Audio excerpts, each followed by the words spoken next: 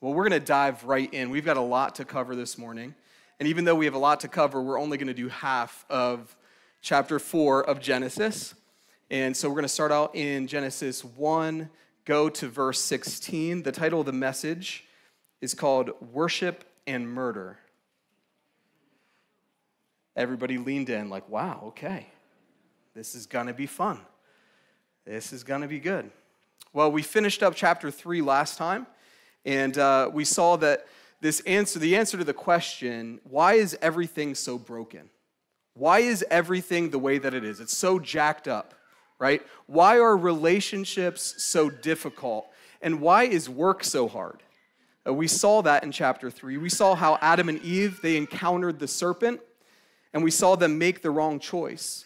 We saw how God came and confronted them, and we saw how Adam and Eve ex- were expelled from the garden. But we saw that Adam spoke Eve's name as a prophecy of hope.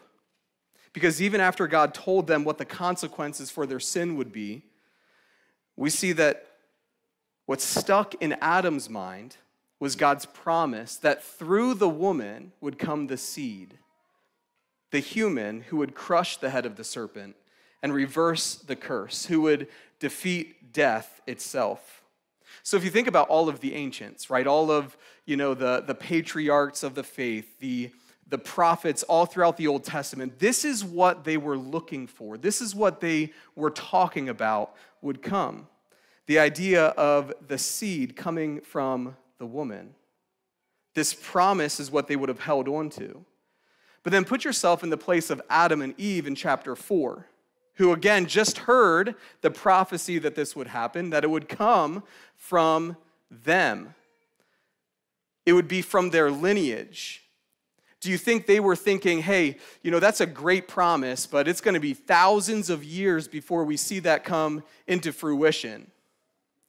I don't think so. I think today in chapter 4, we're going to see that they thought that it was going to be much more of an immediate thing, that it would happen in their lifetime we see that they start a family.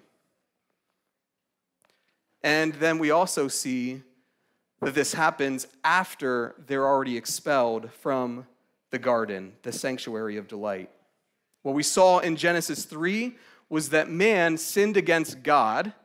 But what we see in Genesis chapter 4 is not only will man sin against God, man will sin also against man. And it's a tough story but it's one that will teach us a lot about ourselves and the nature and progression of sin, even in our own lives. So, Genesis 4, starting in verse 1, says Now Adam knew Eve, his wife, and she conceived and bore Cain, saying, I have gotten a man with the help of the Lord. And again she bore his brother Abel. Now Abel was a keeper of sheep, and Cain a worker of the ground. In the course of time, Cain brought to the Lord an offering of the fruit of the ground, and Abel also brought of the firstborn of his flock and of their fat portions. And the Lord had regard for Abel and his offering. But for Cain and his offering, he had no regard. Now, the very first interesting thing is right away in verse 1, we see that Eve bears a son, and right away she says, I have gotten a man with the help of the Lord. Now, I don't know if you've ever seen Will Ferrell in the skit from Saturday Night Live where you see this woman who's giving birth, and then all of a sudden this grown man comes out, and it's Will Ferrell, and he's like, Man, it was hot in there. Anybody see that? No? Okay, good. Don't watch that. That's not good. Um, when she when she says i have begotten a man it's not like that cain was born as a man like will ferrell. No no. But what she's saying is this is the one. With the help of god i have begotten the man the one that was prophesied about. She's thinking listen being expelled from the garden is short because here's my firstborn, and he's the chosen one. And then it says she gives birth to Abel. And Abel's name means breath. And we see their professions. Abel was a keeper of sheep, and Cain was a worker of the ground. And what we can see from their professions was that God, what God had commanded them to do, they were doing.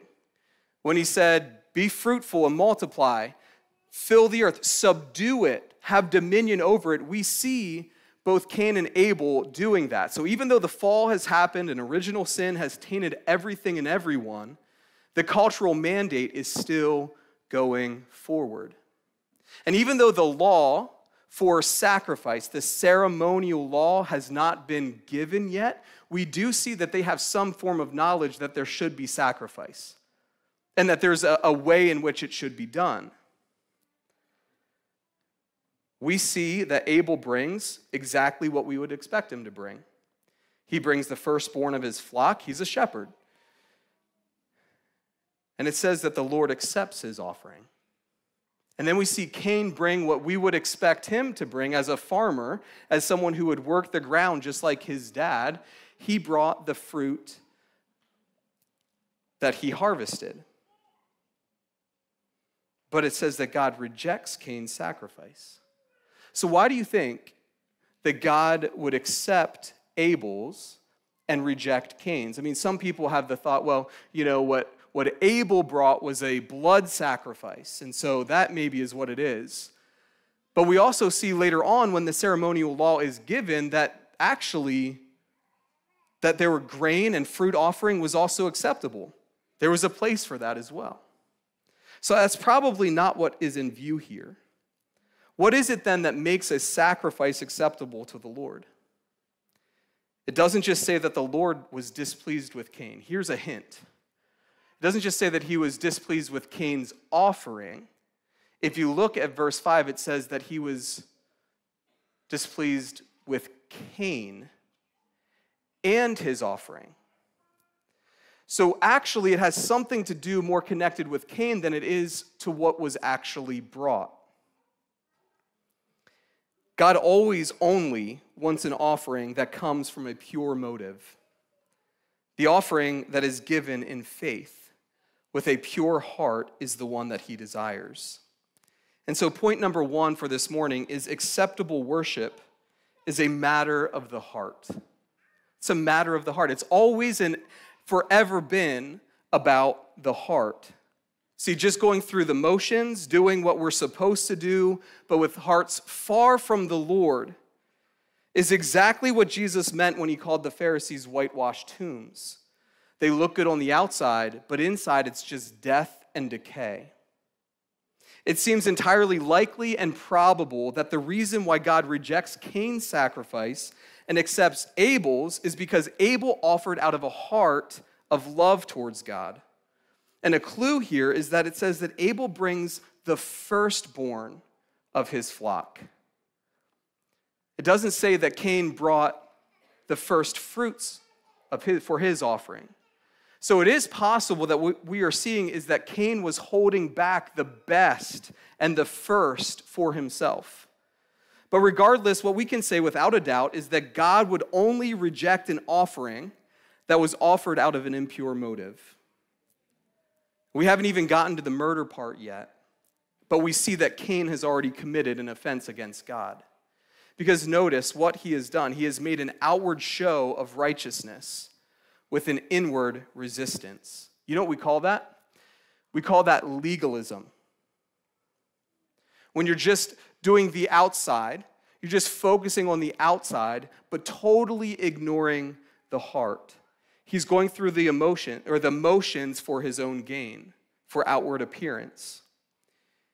Cain believes he can simply do what is right according to the letter of the law, but his heart doesn't have to be in the right place. So he exercises from a position that external righteousness is all that is required of me. I don't have to love this, I don't have to love the Lord, I just have to do these things. True worship is a matter of the heart.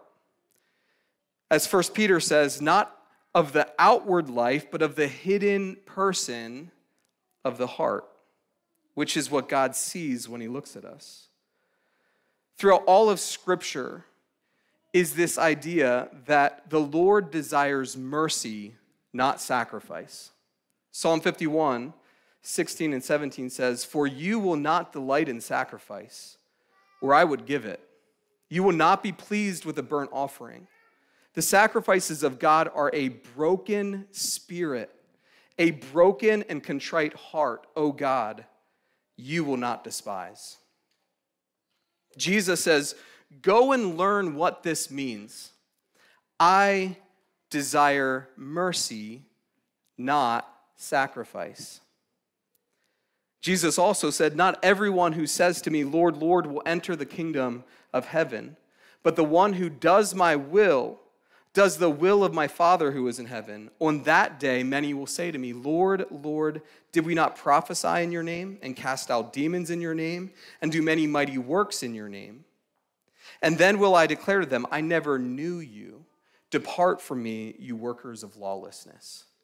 Man, that should make every believer stop and take assessment of our hearts those people were doing what they were supposed to be doing. They were prophesying, they were, they were casting out demons. I mean, these are things that are like we look at and they're like, whoa, like they have to be close with the Lord if they're doing those. They were doing those things, but their hearts were far from Him. And so Jesus says, Depart from me, I, I never knew you. Jesus longs for us to move beyond the idea of sacrifice, what we feel obligated to give up to be perceived as religious. He wants our hearts involved.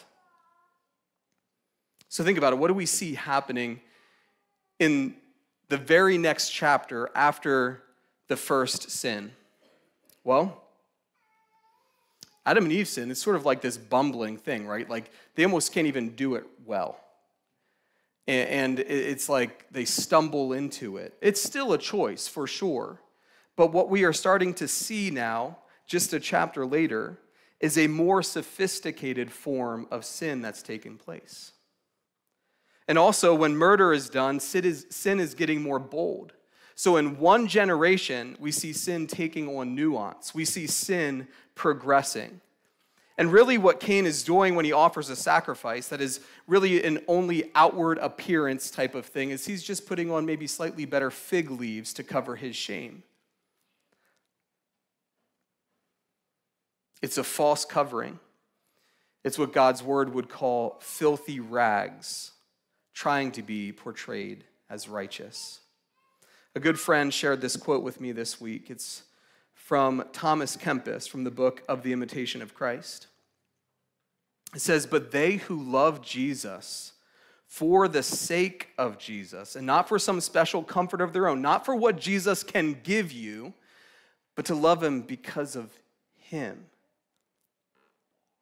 he says, they bless him in all tribulation and anguish of heart. Even in the most difficult times, they will still, people who love Jesus for Jesus and not for what he can just give you, they will still bless him and love him in the toughest times of life. And it says, as well as in the highest comfort, even in the good that he brings. Although Jesus should never give them comfort, they would praise him notwithstanding and wish to always give thanks. Oh, how powerful is the pure love of Jesus, which is mixed with no self interest or self love. Whatever it is that Cain brought before the Lord, we know that it was not a broken and contrite heart, eh, because the Lord would never reject that. What we see in Abel is an awareness of brokenness and sin that Cain does not demonstrate,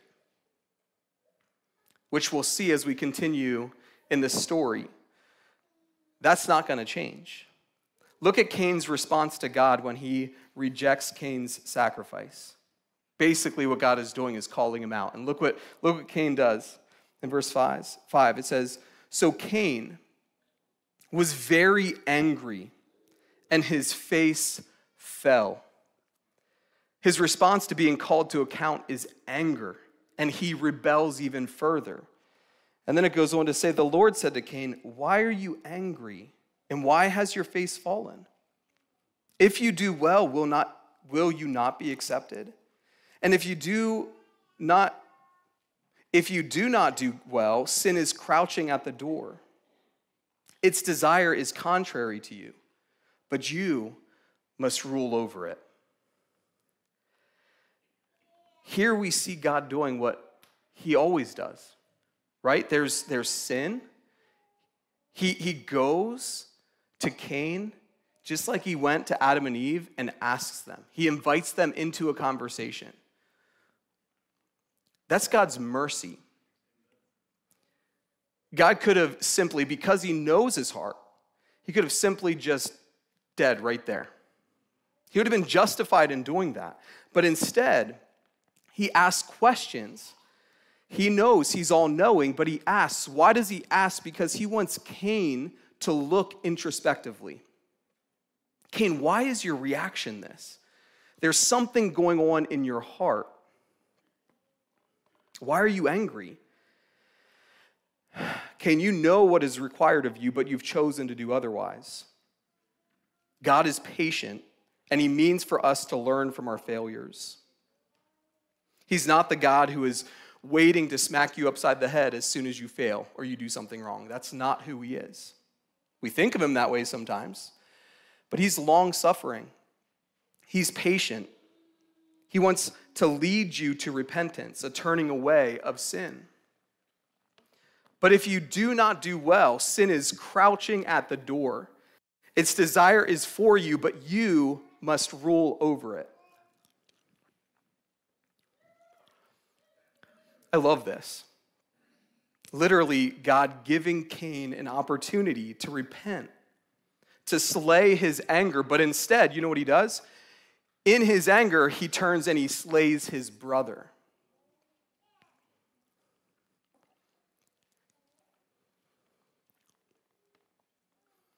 His brother's righteousness incurs Cain's wrath.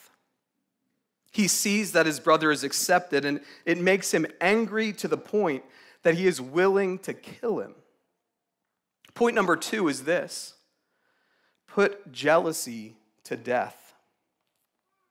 Why is Cain angry? What, like when, he, when God's asking, why are you angry?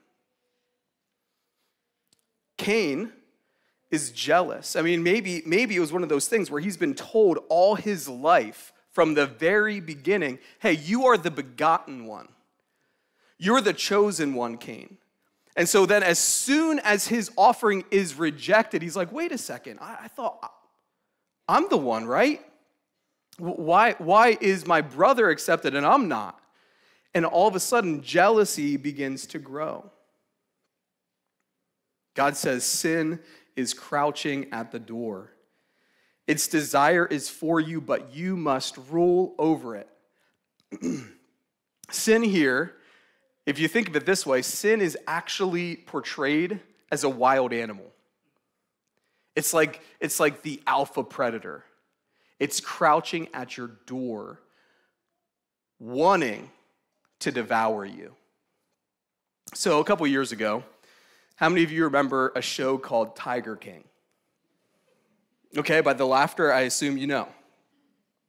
I'm not recommending it, but it's this, you know, like crime drama documentary kind of thing, which is really looking at the interconnectedness of people who um, have their own private zoos, and especially breeding large cats, right? Like tigers and lions and panthers, all those things. Mostly tigers. I mean, this, this show became so popular that for that year that it was released, for Halloween, the number one costume was of Joe Exotic. He's one of the main characters, right? Like people were going dressed like Joe Exotic. Well, before Joe Exotic, there was actually a, a Tiger King of Harlem. Think of this a Tiger King in the middle of Harlem.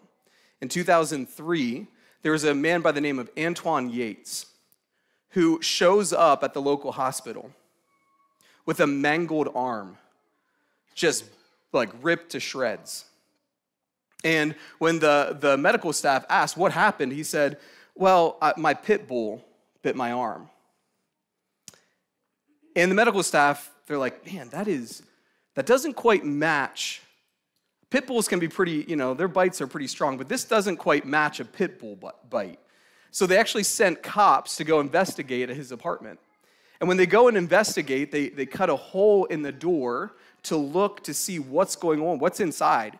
And when they look inside, there's a tiger, a full grown Bengal tiger that pounces at them. So, of course, they call animal control and they take care of it.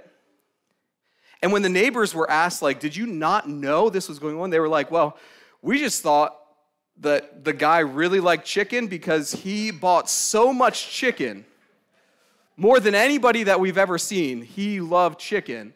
Well, he wasn't eating the chicken just himself, he was feeding it to his full grown Bengal tiger in his apartment.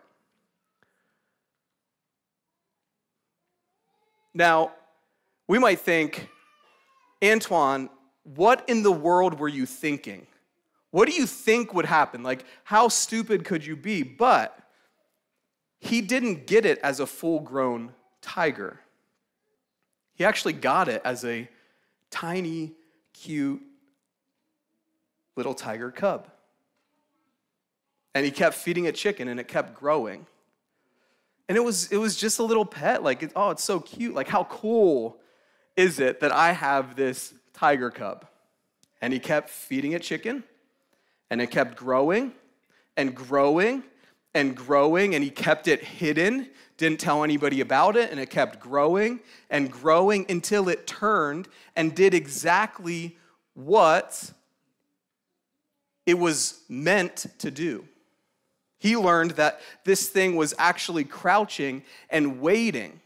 Did you know that there was a study done that even like little little cats, house cats, that if they were big enough, they would eat their owners. Like if they're looking at you and it's kind of like you get that creepy feeling, yes, they want to eat you. That's why I would never recommend getting a cat. But this this the tiger literally got to the point where it could do it, and so it pounced. Literally started to devour his owner. I think there's something we can learn in this. See, that often is the exact picture of sin in our lives. We are like Cain we tell ourselves, you know, it's, it's not that big of a deal. I, I can have this problem with the way I talk about people. I can have this problem about how negative I am. I can have this problem where I'm judgmental or I do things out of selfish ambition. I can have this problem where I compare myself to others and get jealous or self righteous. I can have this problem where I look at things I know I shouldn't look at. I can spend my money this way or spend my time that way. Sure, I get it. It's sin, but really it's just a small sin. You know, it just it's a little vice and it's not really doing that much harm. It's it's not like going out and murdering someone, right? Maybe, you know, I have this anger for this person that I've had for the last 20 years, but it's no big deal. I've got it under control. But sin always grows bigger and bigger and bigger. And listen, it's not a pet on a leash, it is a predator. And sooner or later, it will consume you. This is what God is warning Cain about. So when God pricks your conscience, when he convicts you, he's inviting you into a dialogue and he says, Hey, hey, hey, what are you doing?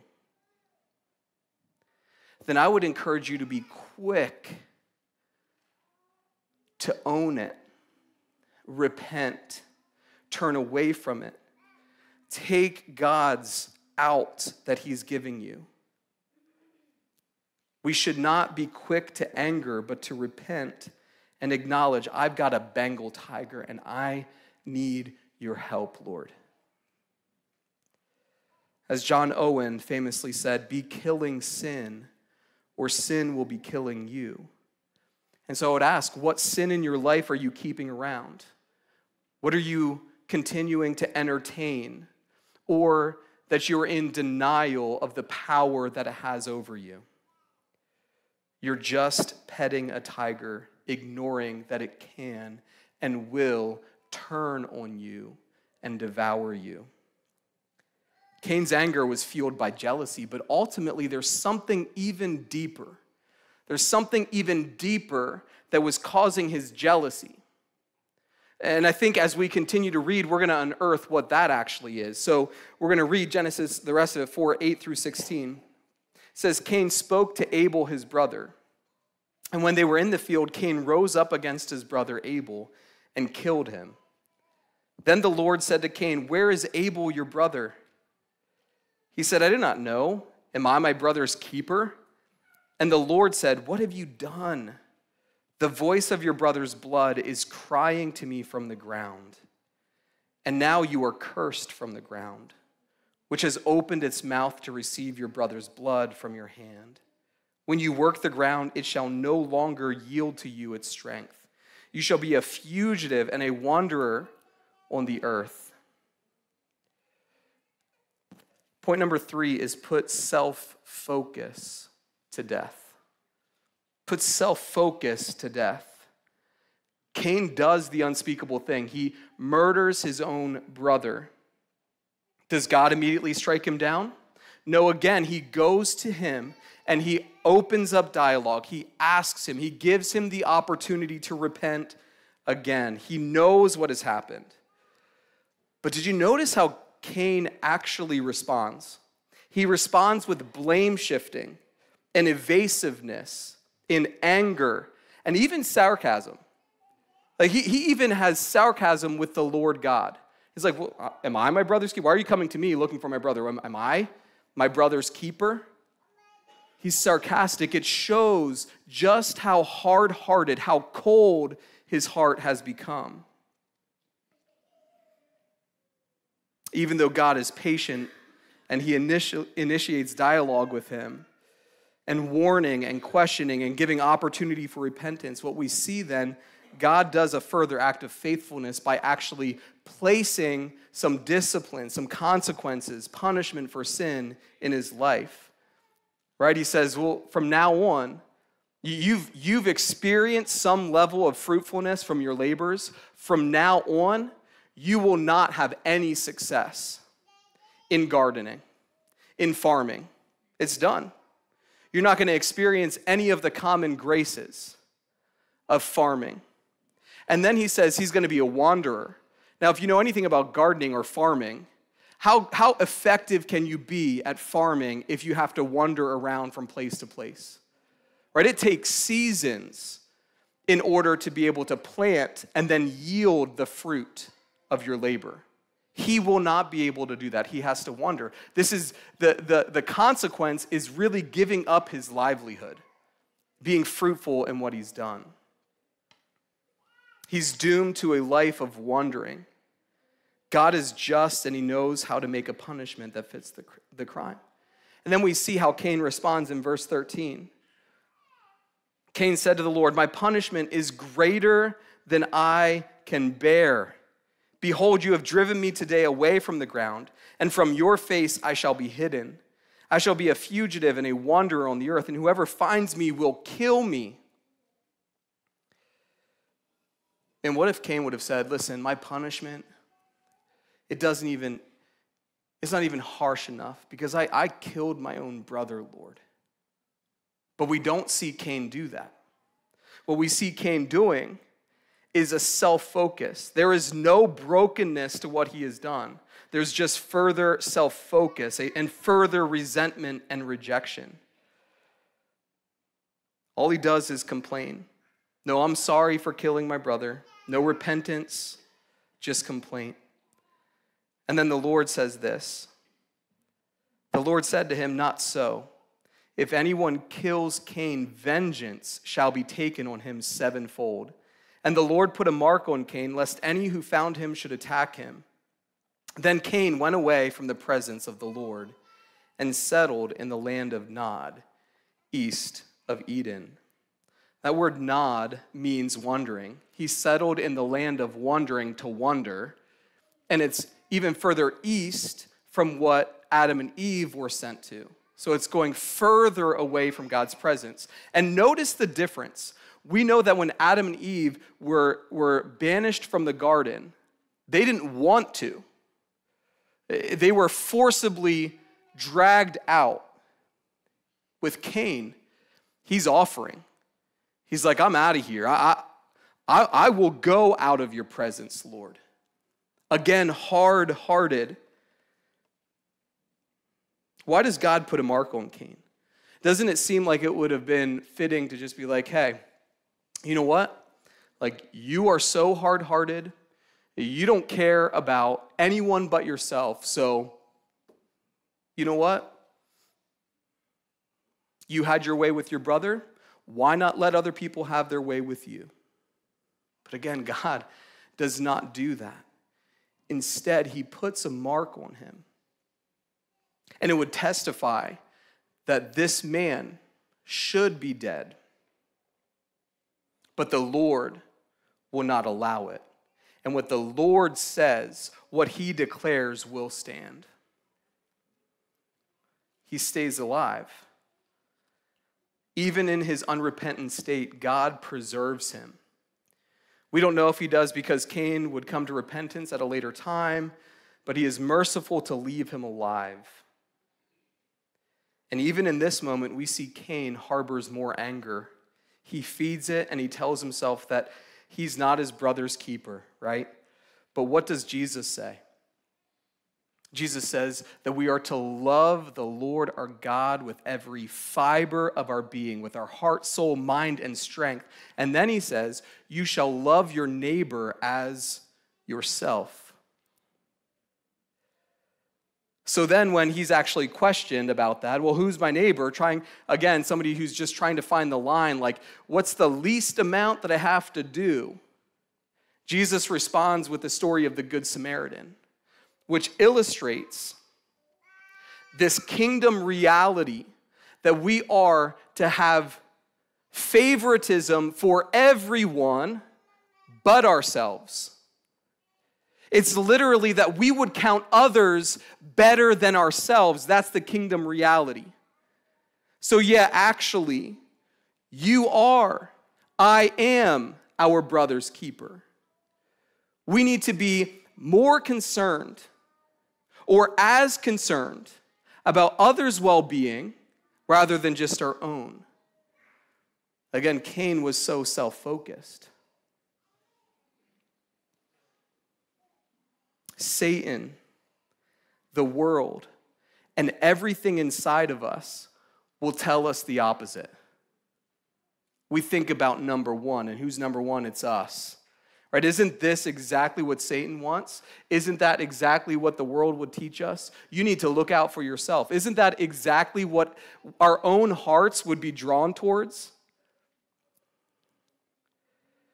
But Jesus says, if anyone would come after me, let him deny himself, take up his cross, and follow me. The message is deny yourself. That's the message discipleship, following Jesus, is extreme. And that seemingly harsh language of denying yourself, taking up your cross, is intended to make this clear. There is no halfway measure in following Christ, it's all or it is nothing. By definition, it's not a hobby, but total and complete allegiance to Him in every corner of our heart. Who is your primary allegiance? Is it Jesus or is it yourself? Christ calls us to exclusive allegiance and complete submission to him. And as we submit and give full allegiance to him, the Holy Spirit does this work. It starts to begin to make us into the image of God that we were created to bear. We become more Christ like. Hebrews 11:4 says by faith Abel, speaking back to Genesis 4, offered to God a more acceptable sacrifice than Cain, through which he was commended as righteous. God commending him by accepting his gifts, and through his faith, though he died, he still speaks. Isn't it interesting that in the New Testament, even though in this story we don't hear Abel say a word, in the New Testament it says that Abel is still speaking today. We see also in Hebrews 12 24 says, Jesus, the mediator of a new covenant, and of the sprinkled blood that speaks a better word than the blood of Abel. What did the blood of Abel cry out? It cried out for justice. What does the blood of Jesus cry out? It cries out mercy. The blood of Jesus speaks a better word.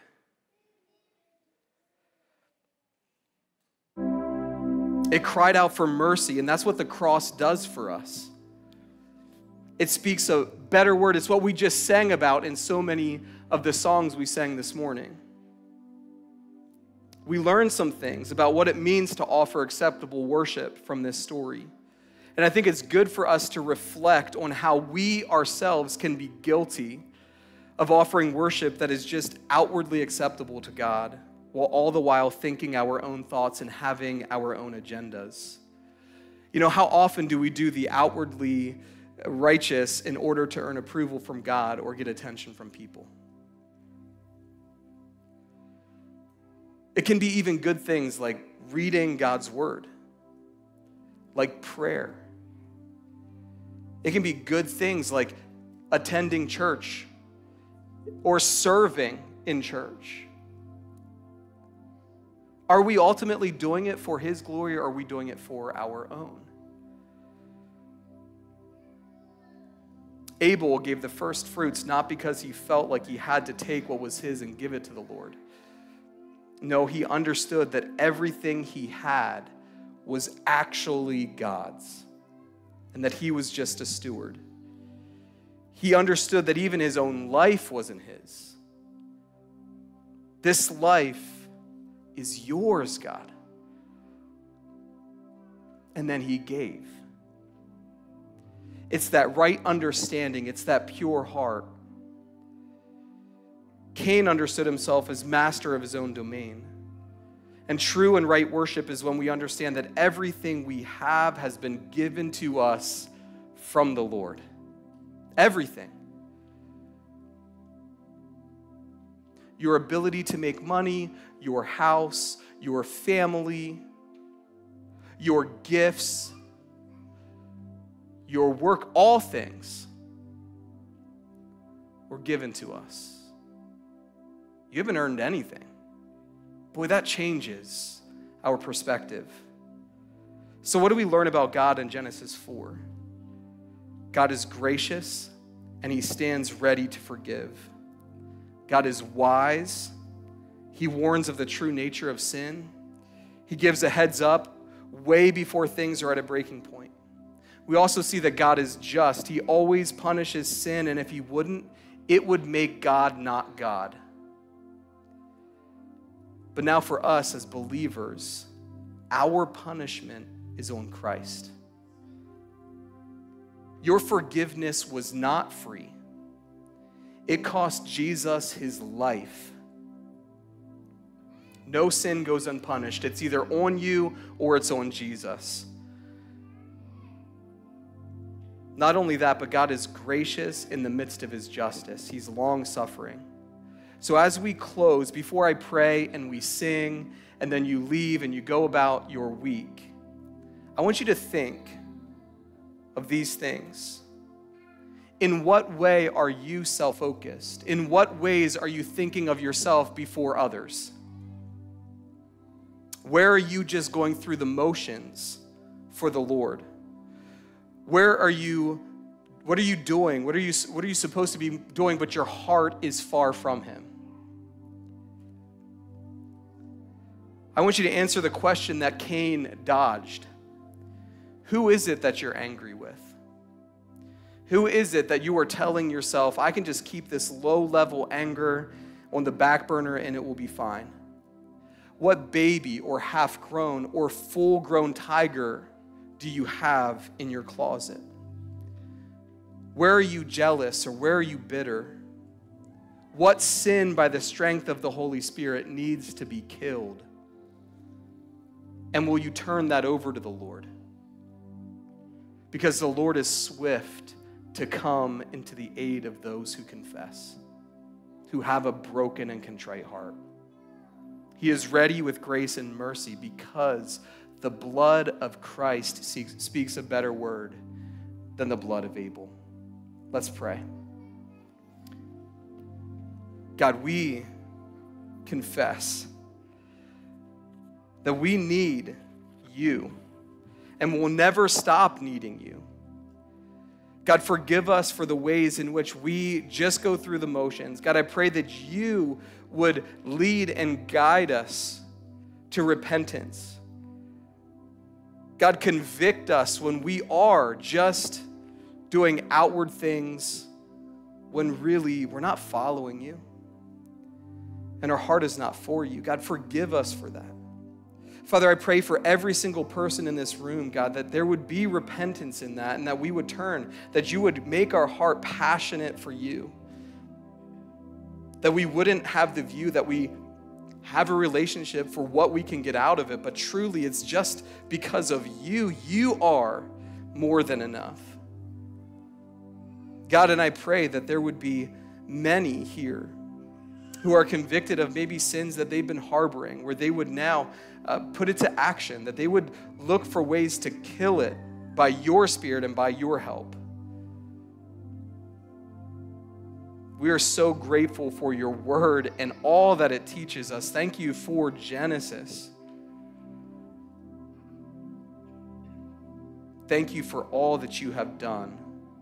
In Jesus' name we pray. Amen.